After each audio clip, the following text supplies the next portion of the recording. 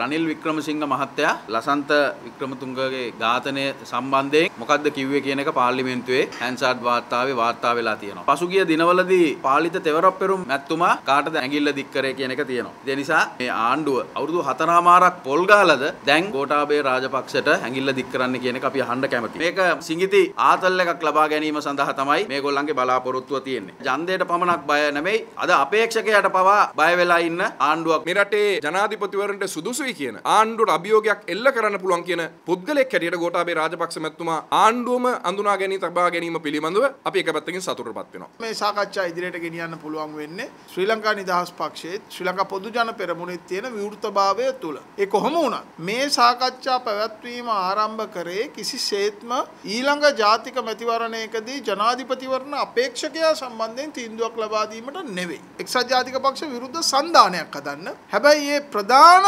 කාර්යම මෙහෙ වෙනකොට බිඳ වැටමින් තියෙනවා කියන හැඟීමක් ජනතාව තුළ තියෙනවා. ගොටාබේ රාජපක්ෂ මහත්මයා වෙන්න පුළුවන් වෙන කෙනෙක් වෙන්න පුළුවන්.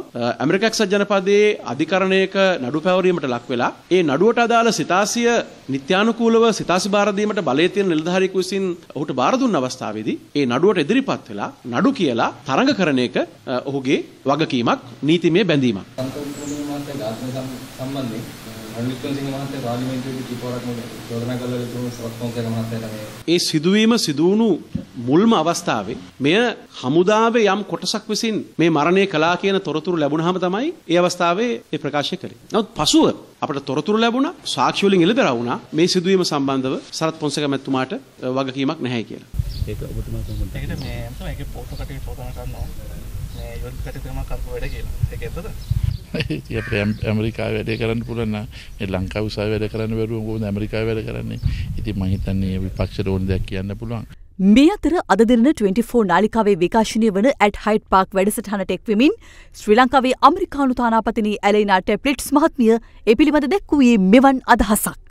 Mr. Gotabaya Rajapaksa, I think uh, there has been media reports that uh, he has been summoned to face civil charges uh, of torture and extrajudicial uh, killing by the United States District Court for the Central District of California. What's happening? I mean, this, this citizenship issue, will there be a threat to renunciation of his citizenship? Uh, well, I hate to disappoint you, mm-hmm. Javiri, but there's not much I can actually say about uh, this situation. Uh, like you, I have heard that a civil suit has been filed against the former uh, defense minister, and, and that's a private matter between uh, plaintiffs in the United States uh, mm-hmm. and, and Mr. Rajapaksa. Mm-hmm. You really have to ask them. so you're, you're not privy to these? We're not privy to the suit, so you'll have to ask them about what's going on.